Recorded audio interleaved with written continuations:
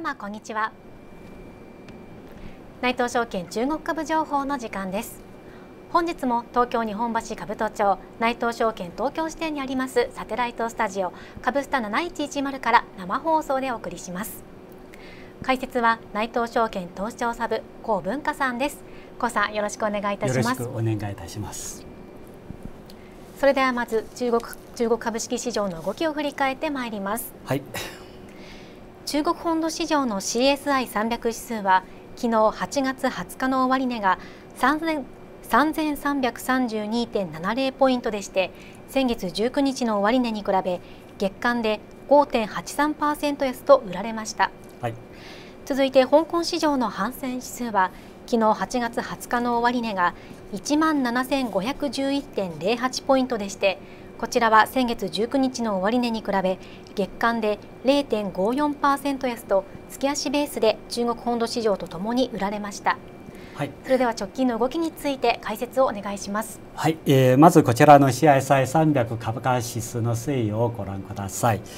えー、中国本土市場は、えー、7月中旬に入りますと比較的顕著に推移していました。11日発表されたアメリカ6月 CPI が予想以上に鈍化したことで対米ドル通貨安懸念が後退しました。加えまして、中国6月の輸出統計の上振れや共産党の重要会議である、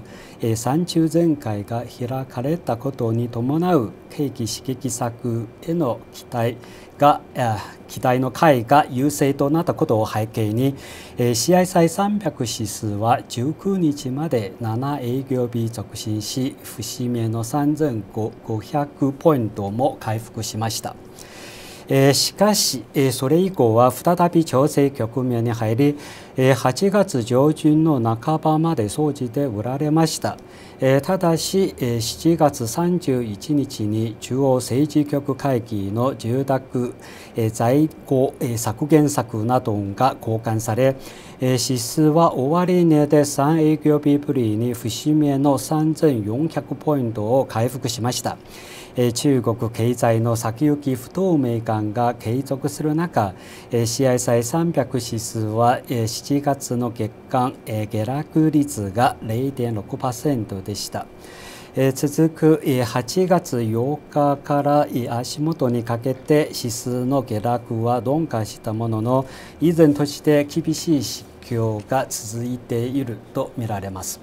えー、こうした GI 悪化の原因とは7月中に発表された中国、えー、4、6月期 GDP が市場予想を下振れたことが相場の重しとなったほか、えー、8月に入りますと、えー、上旬の半ばにかけてアメリカ株の連日大幅安をはじめアジア周辺市場の急落も、えー、投資家の慎重姿勢につながりました。一方、中旬の半ばからアメリカの景気後退に対する過度の警戒感が和らぎ、投資家心理をやや強気に傾けました。そして今後は中国政府による消費財の買い替えや保証性住宅の拡充を促進する政策が本土株式市場の地合改善にもつながりそうですね。はい、わかりました。では続いて香港市場はどのような動きだったでしょうか？はい、えー、こちらは、えー、反戦指数の動きです。えー、香港市場は7月、えー、中旬から、えー、再び、えー、調整局面に入り、えー、8月上旬の半ば頃まで総じて売られました。えー、具体的には7月22日に人民銀行による7月の LPR 引き下げなどを交換し、えー、反戦指数が大幅に反発しましたけれども、えー、翌23日から25日にかけて大幅に3日続落しました。一方26日から月末にかけて住宅在庫のの圧縮をめぐる不動産支援策が交換されえー、香港市場はやや買い戻されました、えー、7月中に、えー、閉幕した3中全会で、えー、具体的な経済対策発表はなかったとの見方が広がり、えー、景気刺激策への期待が後退しました。これを背景に7月では幅広い香港株が売られ反戦指数の月間下落率は2.1%ででした。え続く、え8月に入りますと、え同月上旬の半ばにかけて、え日米の株式市場の急落を受けまして、え海外市場の影響を受けやすい香港市場も大きく売られ、え反戦指数は1日から6日まで4営業日続落しました。えー、節目の1万7000ポイントも余儀なく、えー、割り込みました。しかし翌7日に指数が5営業日ぶりに反発しますと上昇のトレンドを維持し足元にかけて総じて買い戻されましたこうした中19日にはご覧の通り30日移動平均線が100日移動平均線を上回りました。その背景にはアメリカの景気後退に対する過当な警戒感が和らいだことに加えまして金融資本市場が不安定な状況で利上げをすることはないという日銀副総裁の発言も伝わり外部環境の改善で香港市場も買い戻しの動きが強まりました。ただ、不動産不況を受けた中国経済先行きの不透明感が継続するほか人民元安に伴う投資マネーの流出への警戒感もあり今月末にかけて香港市場は神経質な展開になる可能性があると考えております。はいわかりました。以上直近の中国株式市場の動きについての解説でした、はい、この後は知って得する情報コーナーです、はい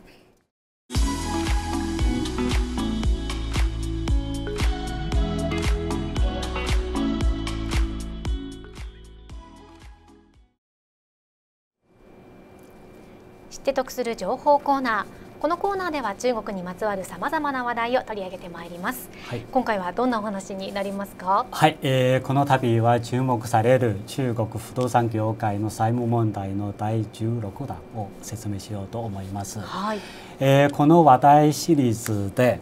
えー、今回は、えーあえー、足元の不動産市況と中国の三中全会について説明します。え、ただしこのテーマの中身が、多いため今回はその第一部分。すなわち三中全会が指摘した中国の三大リスクについて説明しようと考えております。はいわかりました、はい、え欧米など先進国との通商摩擦や国内不動産不況が長引く中中国政府は内需拡大を促すため良好な経済対策を実施することでさまざまなリスク解消に注力していますよね。そうですね。えではその詳細を教えていただく前にまずずは中国不動産市場における今年上半期の業界動向について教えてください。はい、えー、これについては次のスライドをご覧ください。えー、中国不動産市場の全体としては、えー、今上半期にわたって低迷が続いてきました。えー、ここで、えー、同不動産市場の販売投資の実績をまとめて紹介します。はいえまずは1、6月の不動産販売額が約4.7兆元で前年同期比で、え25.0%減と、え市場規模の縮小が、え続きました。えただし減少率が、え1、5月より2.9ポイント縮小しました。そのうち全体の約9割を占める新築住宅は20 6.9%減の約4.1兆元でしたけれども減少率が1、5月より3.6ポイント縮小しました。これまでの当局による不動産業向けの救援策の効果がますます出ているようです。ただし中国不動産市場が今後底打ちをするかどうかは今下半期からの販売データがその鍵を握ると見ております。反面、1、6月のオフェスの販売は前年同期比で減少率が1、5月の4.8%から4.2ポイント拡大の9.0%に悪化しました。このほか商業用物件の販売も7.5ポイント拡大の同9.7%減少しました。えー、一言で言いますと、えー、6月の、えー、中国の不動産販売市場では、えー、主力の住宅分野は、えー、5月に続き、えー、販売減少率が前月より、えー、縮小していた一方、えー、国内経済成長が、えー、鈍化の中、えー、景気動向に敏感な、えー、オフィスと商業用物件の販売減少率は、前月より拡大し赤傾向にあります。はいわかりました。それでは続きまして今年上期の中国不動産業における開発投資の状況についても教えてくださいはい、はい、えー、これについては次のスライドをご覧ください、えー、投資面で、えー、の変化を見ますとえー、今年1、6月の中国不動産市場は開発投資額が約5.3兆元で、えー、前年同期比、えー、10.1%減と減少率が1、5月と一致しており、えー、減少モメンタムは、えー、拡大ベースが一服したようです。そのうち、全体の、8割弱を占める新築住宅への投資額は約4.0兆元で同10.4%減と減少率が1、5月より0.2ポイント縮小し、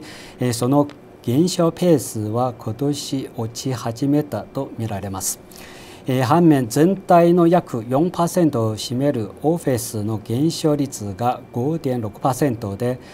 同7%を占める商業用物件の減少率が13.2%と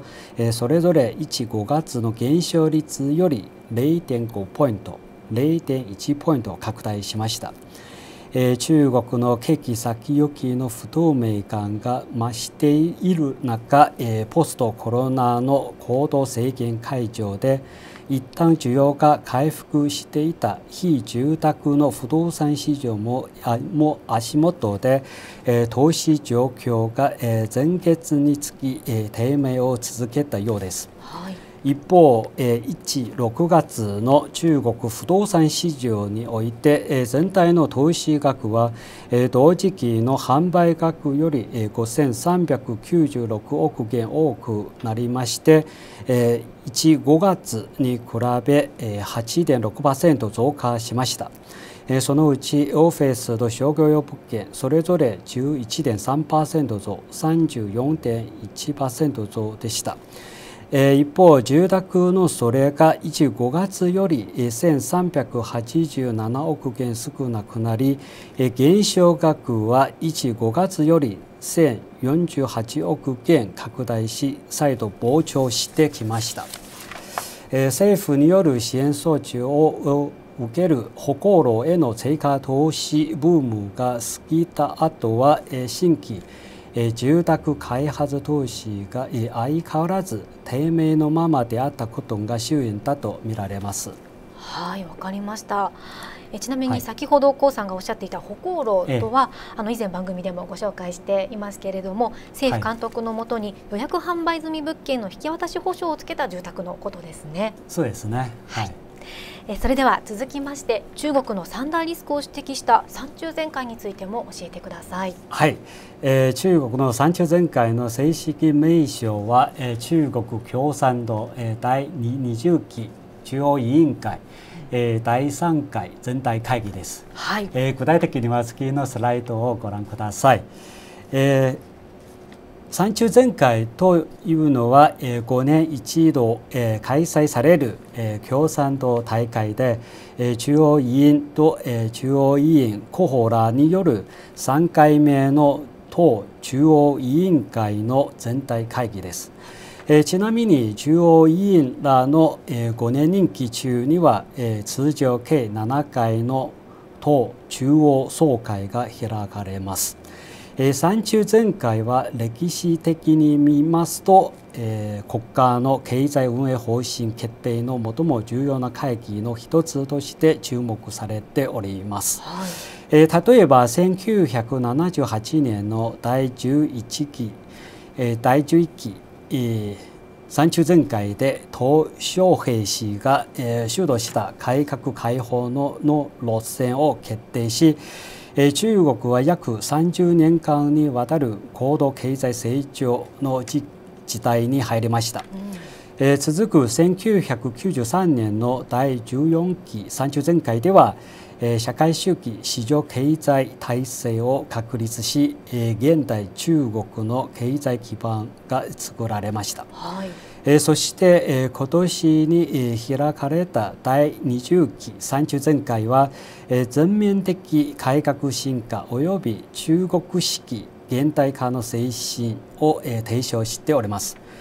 この会議では35年までにハイレベルな社会主義市場経済体制を構築し社会主義近代化を基本的に実現することを目指しております。